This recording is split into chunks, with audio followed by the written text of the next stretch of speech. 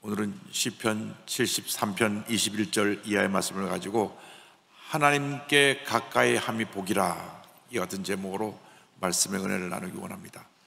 제목을 한번 따라해 주시기 바랍니다. 하나님께 가까이 함이 복이라. 하나님께 가까이 함이 복이라. 사람은 일생을 살아가면서 누구나 예의 없이 자기가 좋아하는 것을 택하고 좋아하는 것을 행하며 살아갑니다. 왜냐하면 자기 삶의 주인이 자기이기 때문에 그렇습니다. 자기가 좋아하는 음식을 먹고, 자기가 좋아하는 음악을 듣고, 자기가 좋아하는 취미 활동을 하고, 자기가 좋아하는 사람을 만나 대화하고 교제하는 것입니다. 그런데 이 세상 살아가는 것이 다 내가 좋아하는 것, 그것을 다 한다고 해서 모든 것이 다 이루어지고 행복하고 내게 참된 만족을 가져주지는 못합니다. 이 세상 살아가는 동안 우리 인간의 뭐로 할 수 없는 것이 있는데 그것은 우리 마음에 공허함을 채우는 것입니다. 인간의 노력과 방법으로는 마음의 공허함을 채울 수가 없습니다. 요즘 우리 한국 사회에 가장 심각한 것이 마약이 너무나 막 지금 독보소처럼 퍼져나가고 있는데 해마다 마약 사범이 거의 배 이상 늘어나고 얼마 전에 마약을 전국에 공급하는 사람을 잡았는데 보니까 18살짜리 고등학생이에요. 그 정도로 이 사회가 심각하게 된 것은 물질의 풍요함은 있지만 마음의 공허함을 채울 수 없기 때문에 자꾸 이러한 술, 마약, 도박 이런 데 빠지게 되는 것입니다. 사람은 다른 동물과 같이 다르게 영적인 존재로 지어받았기 때문에 하나님의 은혜가 임하야만 우리는 주님 안에서 복된 인생을 살아갈 수가 있습니다. 사도 바울은 우리 인간의 한계, 인간의 죄성, 인간의 문제를 잘 알았기 때문에 이어가지고 고백합니다. 오호라 나는 곤고한 사람이로다. 이 사망의 몸에서 누가 나를 건져내랴. 우리 영혼의 갈급함, 우리의 문제를 해결해 주실 분은 우리를 창조하신 하나님 한 분밖에 없습니다. 하나님께 나아갈 때만이 우리의 모든 문제가 해결되는 것입니다. 우리 영혼의 갈급함을 우리 주님이 채워 주시는 것입니다. 우리가 먼저 기억해야 될 것은 우리 인간은 불완전하다고 하는 것입니다. 완전한 인간이 하나도 없습니다. 그래서 시편 기자가 이와 같이 하나님 앞에 고백합니다. 13편 21절 22절에 내 마음이 산란하며 내 양심이 찔렀나이다 내가 이같이 우매 무지함으로 주 앞에 짐승이오나 이렇게 고백합니다. 완전한 사람은 없습니다. 고통스럽고 힘든 상황에 처했을 때 누구나 인간의 연약함을 깨닫게 되고 내 마음이 산란하고 내 양심이 찔렸다고 그는 고백한 것입니다. 내가 우매무지한 짐승 같다고 고백합니다. 세안을 보낸 성경을 보니까 내 마음이 쓰리고 내 속이 아픕니다. 나는 멍청해서 알지 못합니다. 내가 짐승처럼 되었습니다. 이렇게 표현되어 있습니다. 그런데 우리가 기억해야 될 것은 이 시편 기자의 고백처럼 내가 아무것도 아닙니다. 나는 멍청한 존재입니다. 이것을 깨닫게 될 때 그때 은혜가 임하게 된다는 것입니다. 주님의 은혜는 내가 아무것도 아님을 고백할 때 내게 하나님의 은혜가 무엇인가를 깨닫게 되고 하나님의 축복이 임하게 되는 것입니다. 내가 내가 내가 할 때는 은혜가 나와 멉니다. 내가 내가 하는 동안에는 내 스스로 내가 사, 내 삶의 주인이 되어 살기 때문에 은혜를 저버리고 내 마음대로 살아가다가 많은 문제 어려움을 당하게 되는 것입니다. 한때 교회를 핍박하고 예수 믿는 사람을 붙잡아 가는데 앞장서던 사도 바울이 은혜를 체험한 다음 이와 같은 고백을 했습니다. 그의 영적인 아들이요 제자인 디모데에게 보낸 편지에서 디모전서 1장 15절에 이와 같이 말씀합니다. 밑보다 모든 사람이 받을 만한 이 말이여 그리스도 예수께서 죄인을 구원하시려고 세상에 임하셨다 하였도다. 죄인 중에 내가 괴순이라. 사도바 같이 위대한 하나님의 종이 말하기를 내가 죄인의 두목입니다. 죄인 중에서 내가 가장 큰 죄를 지은 그러한 죄인의 두목 같은 사람입니다. 한때 하나님의 은혜를 모르고 예수님이 누구신지 모르고 주님에 대해서 비방자, 박해자, 폭행자로 살았던 그 모습을 그는 고백합니다. 디모전서 1장 13절 14절입니다. 내가 전에는 비방자요 박해자요 폭행자였으나 도리어 국류를 입은 것은 내가 믿지 아니할 때 알지 못하고 행하였습니다. 우리 주의 은혜가 그리스도 예수 안에서 있는 예수 안에 있는 믿음과 사랑과 함께 넘도록 풍성하였도다. 할렐루야. 죄인의 두목과 같았던 우리들이 예수 믿고 은혜 받아서 이렇게 하나님의 복받은 자녀가 된 것입니다. 풍성한 은혜 가운데 살아가게 된 것입니다. 모든 것이 은혜입니다. 나는 아무것도 아닙니다. 고백할 때 하나님의 은혜가 임하게 되는 것입니다. 우리가 사도 바울처럼 내가 죄인의 두목입니다. 고백할 때 하나님께서 큰 은혜를 내려주시고 우리를 위대한 하나님의 사람으로 사용하시고 주님의 놀라운 역사를 이루어 주시는 것입니다. 내가 부족하고 연약하지만 주님 믿고 의지하고 나아가면 불완전하고 부족하고 연약한 모습이 점점 주님의 가운데 완전의 모습으로 나아가게 되고 연약한 모습이 강건해지고 하나님의 은혜가 우리에게 임하게 되는 것입니다. 우리가 바라보고 믿고 의지하고 나갈 분은 완전하신 하나님 한 분밖에 없습니다. 완전하신 하나님의 이 나를 인도하셔야 됩니다. 23절, 24절에 이어가지고 고백합니다. 내가 항상 주와 함께하니 주께서 내 오른손을 붙으셨나이다. 주의 교훈으로 나를 인도하시고 후에는 영광으로 나를 영접 하시리니. 주님과 동행할 때 불안전한 나를 주님이 붙들어 주시고 나를 바른 길로 가게 만들어 주시는 것입니다. 주의 말씀으로 나를 가르쳐 주시고 깨닫게 하시고 말씀 안에서 주의 은혜 가운데 믿음이 성장하게 만들어 주시는 것입니다. 다시 한평생 살아고 난 후에 그 일생을 돌아보면서 주님 은혜 감사했습니다. 10편 23편 1절에 야훼는 나의 목자신인 내게 부족함이 없으리로다. 마지막 6절에 내 평생의 선하심과 인자하심이 반드시 나를 따르리니 내가 야훼의 집에 영원히 살리로다. 주님이 우리의 목자가 되시기 때문에 우리의 부족함이 없는 것입니다. 내 인생을 내가 살아가면 부족한 것이 많지만 주님이 나의 목자가 되시면 부족함이 없습니다. 내가 내 인생을 살아가면 염려, 근지, 걱정이 끊임없이 다가오지만 주님 믿고 의지하고 나가면 염려, 근지, 걱정이 떠나가고 주님의 기쁨과 평안함이 우리 마음 가운데 넘쳐나게 되는 것입니다.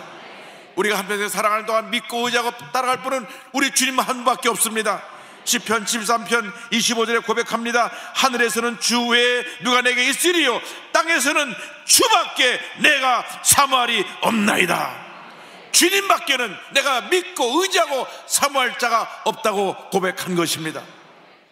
우리가 세상의 물질을 따라가다가 물질로 인해 더 큰 절망과 상처를 받을 때가 많습니다. 물질이 전부가 아닙니다. 사람을 따라가다가 사람 때문에 상처받고 절망하는 적이 한두 번이 아닙니다. 사람이 전부가 아닙니다. 물질을 만드시고 사람을 창조하신 하나님께 나가야 되는 것입니다. 하나님께 나갈 때 하나님께서 우리의 삶 가운데 놀란 은혜를 베풀어 주십니다.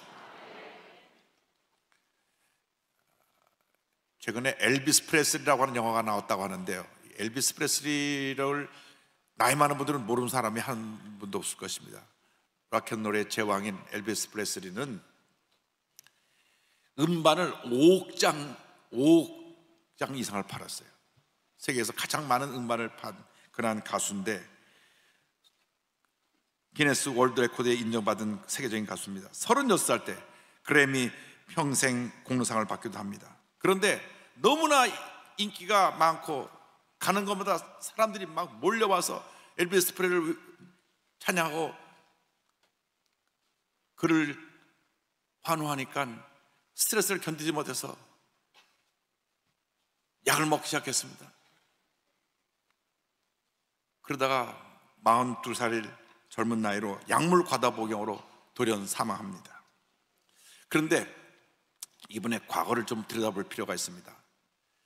그렇게 세계적인 가수가 되기 전에 그는 미국 테네시주 멤피스에 있는 First Assembly of God 우리 순복음교회 찬양대원이었습니다. 찬양대원인데 찬양을 잘 부르고 이, 이, 이 교회가 지금도 찬양 사역으로 유명한데 그래서 세상으로 부름받고 나갔다가 그만 세상 인기에 빠져서 주님과 멀어지고 결국은 약물 중독으로 죽고 말았던 것입니다. 만약 찬양대원으로 봉사했더라면 지금 나이 87세니까 아마 지금도 건강하게 찬양 사역을 하고 있었을 것입니다. 그런데 세상을 따라 나갔다가 그는 파멸의 삶을 맞게 된 것입니다. 10편 13편 27절에 이와 같은 말씀이 나옵니다. 무릇 주를 멀리하는 자는 망하리니 음녀같이 주를 떠난 자를 주께서 다 멸하셨나이다. 어떤 경우에도 우리 주님을 떠나면 안 됩니다. 주님께 더 가까이 나가야 되는 것입니다. 주님께 더 가까이 나갈 때 복이 많은 것입니다. 우리에게 억만금을 갖다 준다고 하더라도 주님과 바꿀 수가 없는 것입니다. 우리가 나의 나된 것 오늘 여기까지 이렇게 된 것이 모두 주님의 은혜이기 때문에 첫째도 주님의 은혜요 둘째도 주님의 은혜요 마지막도 주님의 은혜이기 때문에 우리가 주님을 믿고 의지하고 주님께 더 가까이 더 가까이 더 가까이 나가는 주님의 자녀들이 되어야 합니다. 하나님을 가까이 하는 복에 대하여서 13편 28절을 말씀합니다. 하나님께 가까이 함이 내게 복이라 내가 주 야외를 나의 피난처로 삼아 주의 모든 행적을 전파하리이다. 불완전한 인간이 완전 하나님께 가까이 나가는 것이 그것이 복인 것입니다. 하나님이 복의 근원이 되십니다. 복의 근원 되신 하나님께 나갈 때 하나님의 큰 은혜와 축복이 우리에게 임하게 되는 것입니다. 세상에 가져다 주는 복은 잠깐 지나가는 복입니다. 그러나 주님이 주시는 복은 영원한 복입니다. 마음의 평안함이 임합니다. 주님이 주신 기쁨이 있을 때 우리는 어떤 문제도 어려움도 넉넉히 이기고 승리하는 삶을 살아갈 수 있게 되는 것입니다. 하나님께서 모세에게 말씀하셨습니다. 아론과 모든 대제사장들이 하늘 백성을 이렇게 복을 빌어서 그들이 복받게 하라. 민수기 6장 24절로 26절입니다. 이 말씀 한번 다 같이 보겠습니다. 여호와는 내게 복을 주시고 너를 지키시기를 원하며 야훼는 그의 얼굴을 내게 비추사 은혜 베푸시기를 원하며 야훼는 그 얼굴을 내게로 향하여 드사 평강 주기를 원하노라 할지니라 하라. 아멘. 하나님께서 내게 복을 주셔 너를 지키시며 하나님께서 얼굴을 비추사 은혜를 베푸시며 하나님께서 얼굴을 내게 향하사 평강을 주기를 원하노라. 하나님의 주신 삼중 축복에 대해서 민수기 6장에 말씀하고 있는 것입니다. 우리가 예수를 믿을 때 하나님의 이 복이 임하는 것입니다. 하나님의 복이 우리에게 임하여서 하나님께서 그 은혜의 빛을 우리에게 바라심으로 말미암아 우리 영혼이 잘된 같이 범사가 잘 되며 강건하게 되고 생명한테 풍성하는 은혜가 임하게 되는 것입니다. 우리가 실패 연속 인생을 살았다고 할지라도 예수 믿고 하나님을 섬기기만 하면 우리 인생이 역전되어서 실패 인생이 성공의 인생으로 좌절과 절망의 인생이 희망과 기쁨의 인생으로 바뀌어지게 될 것입니다. 고난이 깊을수록 우리에게 다가올 축복이 더 크다는 사실을 잊지 않게 되기를 바랍니다. 하나님께 가까이 함이 복인 것입니다. 하나님께 가까이 나갈 때 하나님께서 은혜를 주시고 마음의 평안함을 주시고 육신의 건강을 주시고 범사가 형통하게 되는 복을 내려 주시는 것입니다. 예수 믿는 사람들은 날마다 하나님께 더 가까이, 더 가까이, 더 가까이 나가야 됩니다. 그럴 때 하나님의 복이 임하는 것입니다. 김현석 교수님은 올해 103세이신데 얼마나 건강하신지 모릅니다. 103세이신데 아직도 지팡이를 안 들고 다니겠어요. 잘 잡수시고 잘 걸어 다니시고 운동하시고 매일 산책하시고 일주일에 한 번씩은 산에 산에 올라가시고 얼마 전에 TV에 나오는 거 보니까 아들님들과 함께 만나서 얘기를 하는데 큰아들이 76살이더라고요. 그런데 얘야 그래. 얘야 잘 지냈냐? 내 아버님. 왜 그렇게 건강하게 지금까지 장수하시며 지금도 말씀을 시작하시면 원고도 안 보시고 30분, 1시간 잘 자랄 수 있느냐? 그 마음에 우리 주님이 계시기 때문에 그렇습니다. 누가 여쭙습니다. 교수님 장수의 비결이 무엇입니까? 마음이 행복하면 됩니다. 근데 그 마음의 행복은 예수님께로부터 옵니다. 할렐루야. 할렐루야. 하늘께 돌립니다. 이 복을 다 받으시기 바랍니다.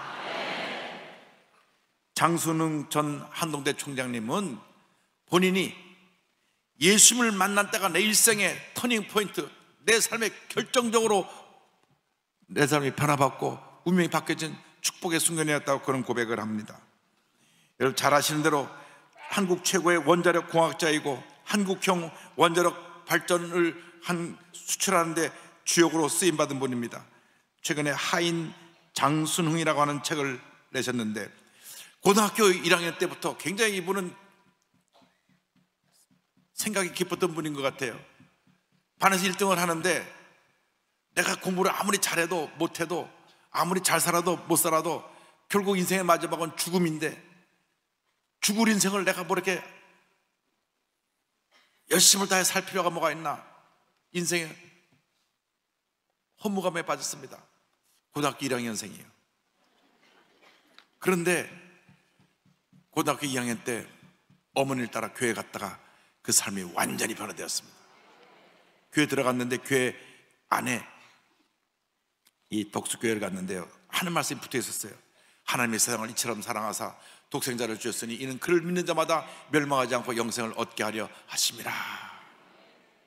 아, 이 말씀이 다 마음에 들어왔는데 우리 순봉수로 표현하면 성령이 임한 겁니다.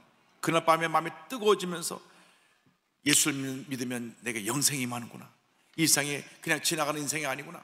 그래서 그 말씀을 묵상하고 묵상하고 묵상하다가 하나님의 은혜를 체험하고 그날 그 말씀을 마음에 받으는 그 순간이 자 인생의 전환점이 되었어.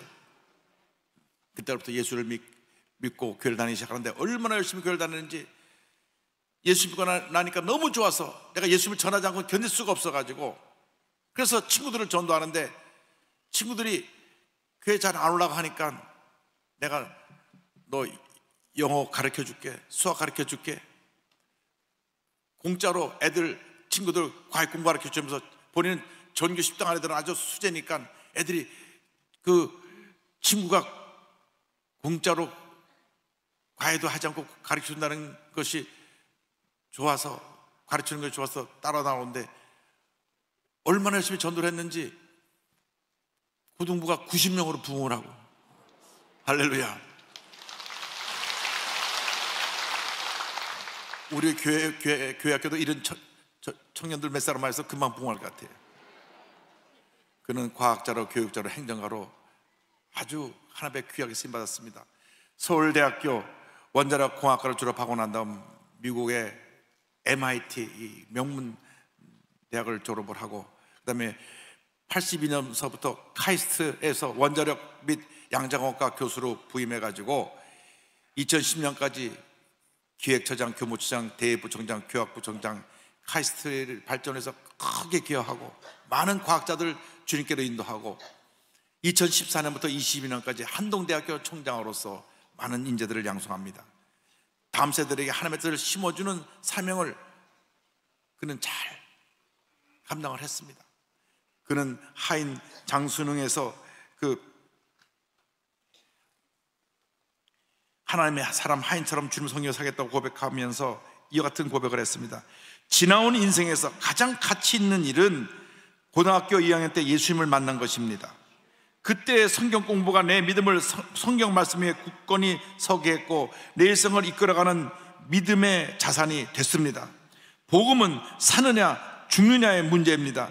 누가 돈을 준다고 해봤자 아주 많아야 몇백억 몇천억을 줄 수 있을 것입니다. 하지만 생명은 줄 수 없습니다. 눈앞에 있는 것보다 더 멀리 있는 가치 나아가 영원한 가치에 주목하면 좋겠습니다. 할렐루야. 예수를 믿으면 운명이 바뀌는 것입니다. 예수를 믿으면 새 사람이 되는 것입니다. 예수를 믿으면 이같이 위대한 사람으로 변화되는 것입니다. 이 장총장님 같이 예수 안에서 변화를 받고 새 사람이 되어서 날마다 날마다 주님께 더 가까이 더 가까이 나가 위대한 하나님 역사를 이루는 하나님 일꾼들이 다 되시기를 바랍니다. 여러분 한 번뿐인 인생입니다. 어떻게 사느냐가 중요합니다. 예수를 믿고 하나님의 가장 기뻐하시는 삶을 살다가 기쁨으로 주님 맞이할 수 있는 여러분 모두가 되기를 바랍니다.